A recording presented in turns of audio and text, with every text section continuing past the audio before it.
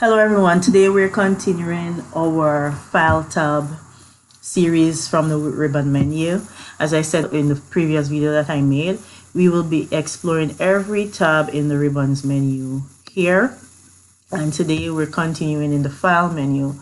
We will most definitely uh, in this video show you how to, or I should say, I will show you how to use a search option to find files that you have already opened in the past. Uh, the last time I showed you how to you know hide the template and the blank page section and let's get right into the video.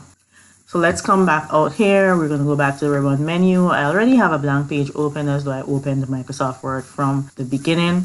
And it's on the home tab right now. It's always on the home tab by default and now I'll click file from the ribbon menu and then you see that this entire working surface or area here it always lands on the home section. I'm using Word 365 or 365 and now I'll come over to the recent section.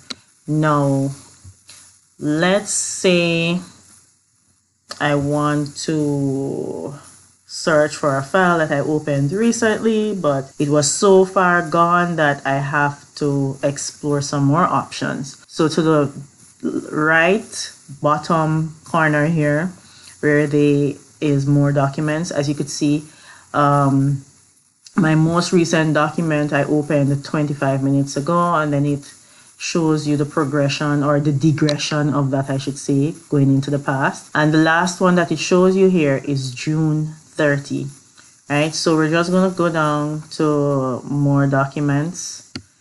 We'll click that and you'll see many more documents here. If you scroll you'll see a large array of documents that I have opened since um, 2021 now let's say we want to search for a document in case you just don't want to go through that long list. So we click here in the search bar and let's say I want to look for cracking the Genesis code so I'll click I'll type cracking right? And I'm not going to type out the Genesis code because as you could see the moment I typed cracking you see everything literally basically showed up here.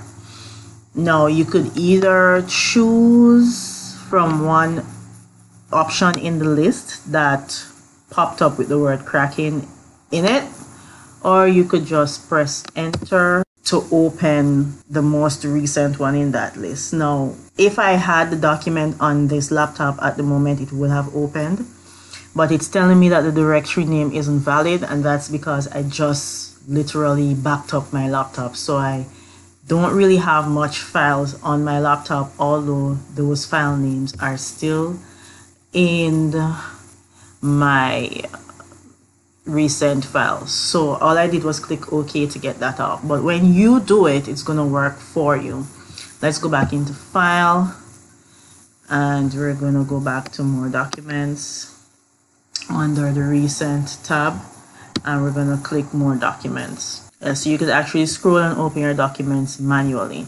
Now if we go over to the folders tab there are folders too that you could work with that would be on your PC. So let me know what you think about this video. We're continuing the series in the next video. And remember, you have to subscribe to the channel to catch all the videos.